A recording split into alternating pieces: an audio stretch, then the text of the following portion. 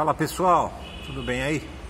Fazendo um vídeo só para é, teve uma dúvida aí de um no vídeo que eu fiz desse carro de um inscrito aí, então eu resolvi fazer um vídeo só para é, detalhar um pouco melhor essa esse retoque que nós fizemos.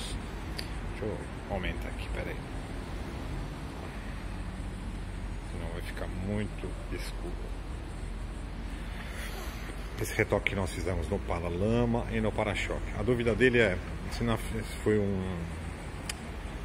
é, uma, uma, ilusão de ótica na, na hora da, do, do, filme ou ele tinha visto que num dos cantos do para-lama tinha ficado meio opaco. Portanto, tá aí, ó, eu resolvi fazer um vídeo mostrando realmente o serviço. O serviço foi feito na Vitor Alto, ali é uma oficina, eu já fiz inclusive um vídeo, tá no canal aí cara é um artista, é um cara super competente, um mineiro que eu conheço há uns 30 anos. A oficina dele é sensacional, muito organizada, a câmara de pintura da PPG. Sabe, para fazer um retoque num para-choque, ele tira a peça. Isso eu já tudo mostrei num outro vídeo. Eu vou até fazer depois um outro vídeo mais detalhado da oficina dele, aí se o pessoal tiver interesse, tá? Então, só para mostrar o serviço dele, ó.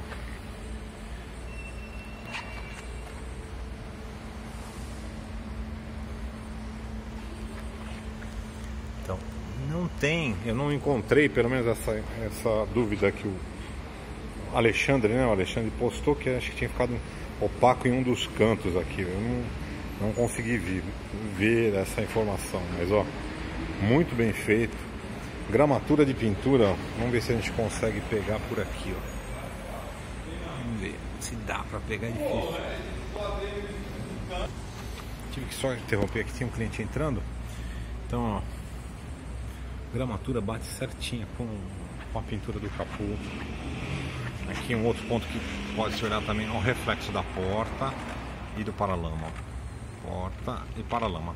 Aqui, obviamente, tem uma curva, então você tem um, um desvio de reflexo, né? Você tem uma peça que ela é mais ó, porta e paralama.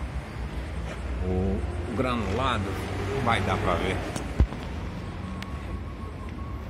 é muito certinho, com coluna, bate cor certinha.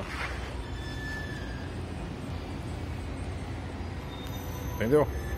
Então, só para quem o Alexandre aí que ficou na dúvida, acho que isso serve para para você que está fazendo, está procurando também uma oficina, cara, é aquilo que a gente fala, leva numa oficina boa, uma oficina top de ponta, porque é aquilo, um serviço mal feito, é que você gaste 600 reais, 700 reais num retoque desse, mas muito bem feito, na hora de você vender o carro, provavelmente a desvalorização vai ser zero quanto a esse tipo de serviço. No entanto, se você faz um serviço mal feito, o valor que você vai perder na hora da venda é muito maior do que se você tivesse pago um serviço mas pagou 300 para pintar um serviço mal feito, no lugar de pagar 700, 800 reais num serviço bem feito.